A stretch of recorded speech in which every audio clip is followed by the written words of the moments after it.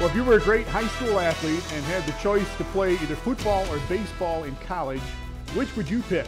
Alex Schultz could have been a heck of a, a, college quarterback, but he chose to be a heck of a college outfielder instead. And Omaha is glad that he did. Midco Sports Network's Dan Aspen has his story. Eight games into Summit League play, the University of Nebraska Omaha baseball team sits atop the standings with a perfect 8 0 record. A key ingredient in the team's early success? Freshman Alex Schultz. High school sports fans in the Sioux Falls area are familiar with Schultz's work. Schultz, Koonsman streaking down the field. He beat Parkin over the shoulder. What a throw from Alex Schultz. His talent made him an impressive college recruit for Division I football and baseball, but he needed to make a choice. For the initial time we talked to him, he was a little bit torn between what he wanted to do. We left the decision up to him because we wanted a guy to make the right decision. Obviously, we, we were happy that it was baseball, but at the time we didn't know which way he was going to go. Talking with my uh, past Legion coach, Coach Hunt, and uh, he got me down here, and uh, I realized what uh, University of Nebraska Omaha had, and uh, I just really like the situation, the coaching staff, the university, and uh, baseball won out just because of the whole package down here. Whatever the Mavericks did to convince Schultz to sign on, it's paying off. The freshman is starting every day in center field and batting seventh in the lineup. And just in case you aren't impressed yet, there's more. He's a guy that swings the bat from both sides of the plate, so he's a real leader by example. I mean, he's also a big encourager in the dugout. In 26 games this season, Schultz is hitting 296 while scoring 14 runs and knocking in 15. He's making the transition from high school to college look easy, but he still notices a major difference in the game. The ball moves faster, especially coming out of the pitcher's hands and uh, off the bats. One through nine in the lineup, everyone's got ability. UNO won't be eligible for postseason play until Alex's senior year, but he isn't going to wait to make winning a habit. Being a competitor, you don't really worry about going into the postseason because we have such a long spring 54 games or something like that, mid 50 games every spring.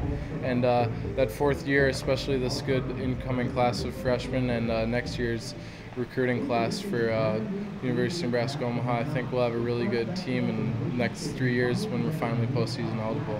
Well, Schultz has started 25 of 30 games so far this year. He is hitting 296 right now so far in his freshman campaign. He and the Mavs and everybody else in the league having a hard time getting games in right now because of the weather. Omaha did get one in last week against the University of Iowa.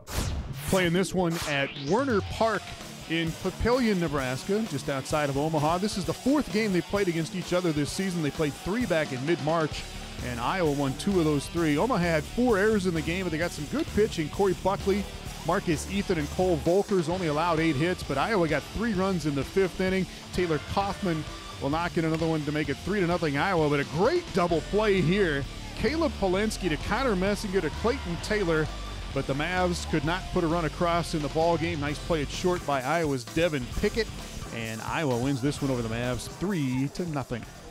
And Omaha will play Iowa again one more time coming up on May 7th. Almost everybody else in the league got wiped out by weather. Omaha was supposed to play at North Dakota State and at South Dakota State. Uh, those games were snowed out. They tried to move those games to Sioux City, but they got weathered out there as well. So the only league games that did go on as scheduled were in Fort Wayne. The Dons and Oakland played four and split them. Fort Wayne won five to four on Saturday, uh, five four twice on Saturday. Oakland won five to nothing and nine to one on Sunday. Clay Hathaway had five hits, drove in three runs in the two wins for Fort Wayne. He is the Summit League Player of the Week.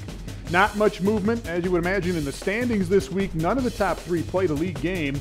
And again, Omaha not eligible for the postseason this year, so it's just the other five here that are fighting it out for the four spots in the Summit League Baseball Championship Tournament.